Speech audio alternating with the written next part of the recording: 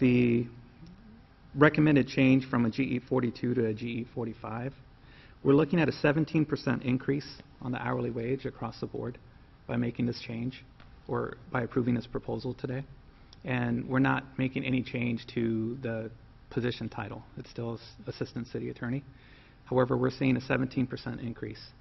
And as we try to be mindful of our operating expenses and and wages as we go forward, um, I felt that that warranted uh, further discussion, uh, because, for instance, um, the starting wage for an assistant city attorney would be currently at 4187, and under this proposal, that would increase to 4914.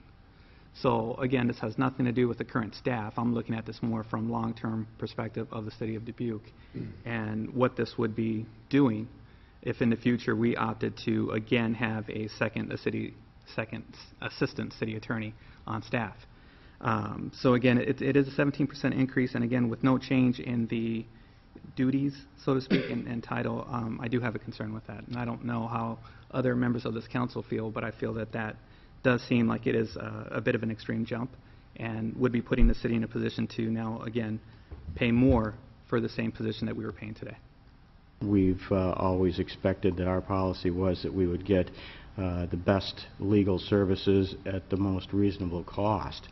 And um, I think that that's always been the case, and just uh, doing a little rough figuring with a calculator here, I think uh, we're looking at, uh, if you took a standard 40-hour work week over 52 weeks in a year and divided that out, you're getting, uh, looks like, if I, my math is correct, uh, an hourly rate of uh, just a hair under $65 an hour. And I don't think that you would find an attorney in the private sector that would be billing at an hourly rate of $65 an hour in today's day and age. So um, I, uh, I think that uh, we're getting uh, good value, and uh, I think that uh, what you have here is a uh, person that uh, is uh, an exceptional attorney that has topped out at the pay grade that they're at and moving up one. And I think that, given the fact that our city attorney that is retiring after many, many years, there will be an increased workload on both of the current assistant city attorneys. So I, for one, do not want to be the one that votes against a proposal that saves the taxpayers $40,000 a year.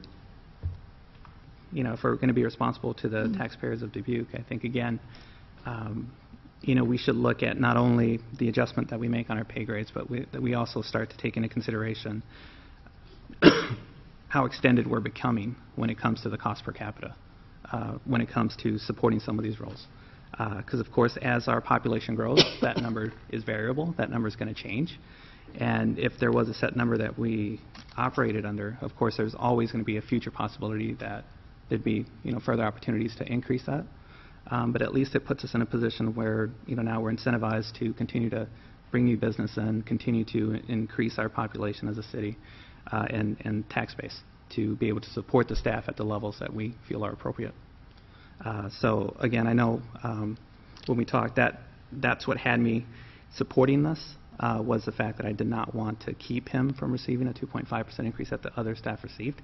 Um, But I know during that same discussion, I was very open about the fact that I, I still feel that looking at where we are today and placing some type of cap in place, however that is structured, is needed, um, again, in order to ensure the uh, protection of the taxpayers and our city and our debt and what we're doing.